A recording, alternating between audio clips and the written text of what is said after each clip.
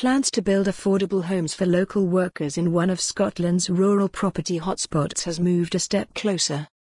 The Arran Development Trust, ADT, are seeking to build more than 40 houses for local families who have been priced out of the market, threatening the island with a crippling population drain.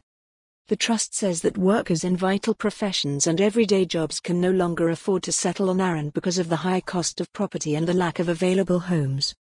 A huge proportion of the houses on the Inner Hebridean island in the Firth of Clyde, which has a population of around 5,000, have been bought as second homes by incomers and retirees, pushing up prices and creating a population crisis as young workers move away.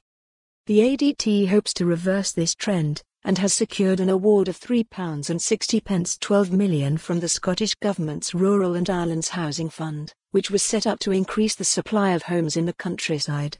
It is believed to be the largest grant awarded to a community group from this fund. The £3.612 million grant will be used as part of an £8.5 million financial package to provide 43 affordable rental houses of between one and four bedrooms across two sites in the Lamlash area and will help address the severe lack of affordable housing on the island. The ADT will also be taking forward plans to provide 14 serviced self-build plots in Lamlash, Arran and has received over 60 expressions of interest.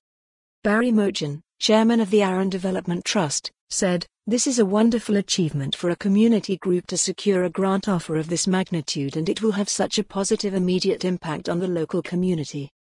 The local community have wanted and needed this boost for so long and all the hard work getting it to this stage has finally paid off.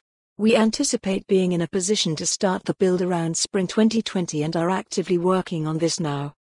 Bill Calderwood, chairman of the Arran Community Council said, these projects were identified by the community, led by the community and will finally bear fruit for the community. There have been Arran residents registered on the Common Housing Register for 10 years or more, without hope of securing an affordable rental home, so it is great for them to know the wait will soon be over. The Arran Development Trust has been supported in their efforts to secure grant funding by North Ayrshire Council, along with Scottish Minister for Housing, Local Government, and Planning Kevin Stewart, MSP Kenneth Gibson and Local Councillor Timothy Billings.